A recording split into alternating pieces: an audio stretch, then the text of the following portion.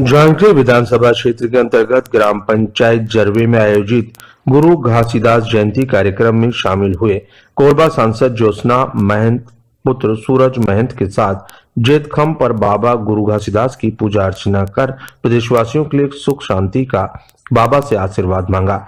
इस मौके पर विधानसभा अध्यक्ष डॉक्टर महंत ने ग्रामवासियों की मांग पर सतनाम भवन निर्माण के लिए दस लाख रुपए की घोषणा की।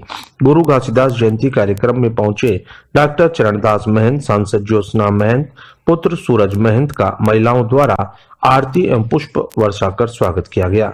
इस अवसर पर डॉक्टर महंत ने ग्रामवासियों को संबोधित करते हुए कहा कि बाबा गुरु घासीदास जी ने मानव समाज को आपसी प्रेम, भाईचारे पर आधारित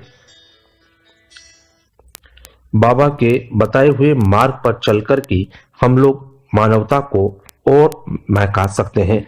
बाबा के बताए मन के मन के एक बरोबर पर आधारित सतनाम संदेश का प्रतिफल ही है कि आज हम सब एक है। विधानसभा अध्यक्ष ने आगे कहा, जब जब समाज में विकृति आती है, अन्याय, अत्याचार बढ़ता है, तब समाज को सही दिशा देने के लिए महापुरुषों का अवतरण होता है।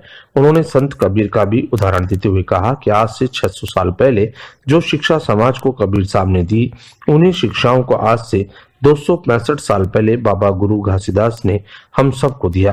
कार्यक्रम में जिला विधायक प्रतिनिधि गुलजार सिंह ठाकुर, कांग्रेस प्रदेश सदस्य मनहरण राठौर, विधायक प्रतिनिधि अमित राठौर, श्याम सुंदर अग्रवाल सहित बड़ी संख्या में श्रद्धालु और भक्तगण ग्रामवासी उपस्थित थे।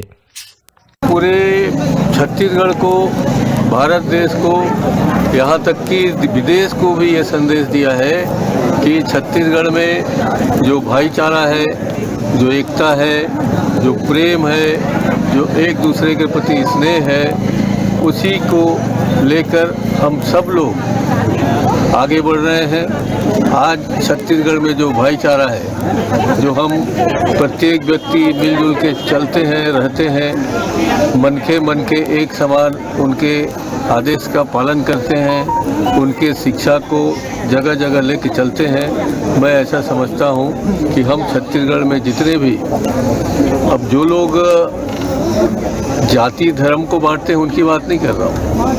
न मैं राजनीतिक बात कर रहा हूँ। बाबा जी का ही आशीर्वाद है कि आज छत्तीसगढ़ में कांग्रेस की सरकार है फल रही है, फूल रही है और सबकी सेवा कर रही है।